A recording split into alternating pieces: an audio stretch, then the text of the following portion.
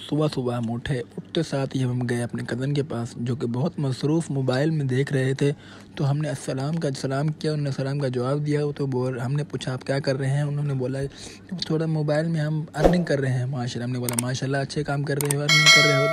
हमने बोला, हमें भी तो कुछ सिखाए ना। बोले, जी, आप आप भी आएँ, थोड़ी टाइम निकालें तो हमारे पास आके सीख लें। फिर उसके बाद हम गए अपनी दूसरी शॉप पर, जो हम आगे बिरयानी की शॉप पर, हमारे भाई खड़े हुए फ़ान साहब।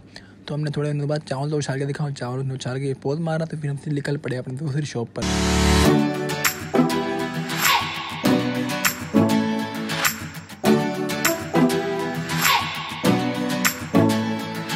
पेट्रोल देख रहे हैं पेट्रोल हमारे फुल था, फिर तो हमारे पास जो भाई बैठे हुए थे, उन्होंने बोला, पेट्रोल फिर भी चेक करो रास्ते में ख़त्म ना हो जाए। नहीं ख़त्म होगा, आप भरोसा करके बैठे। तो फिर हम निकल पड़े अपने रास्ते पर सीधा। थोड़ी सिनेमेटिक देख ले तो हम मिलते हैं दूसरी शॉप पर जाके।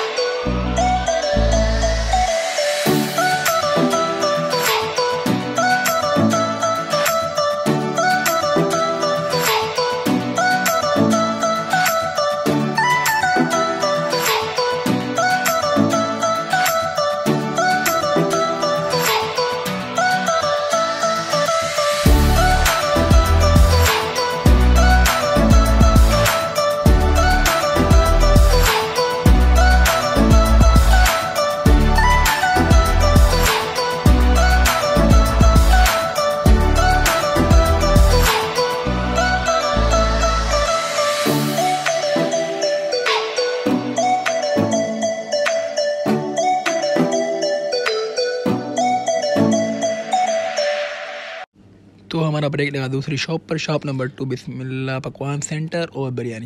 भाई चपाती वाले ने जो जैसी रोटी घुमाई तो हमारे देख के उनको होश उड़ गए। तो हमारा दिल खुश हो गया। भाई मज़ा आया।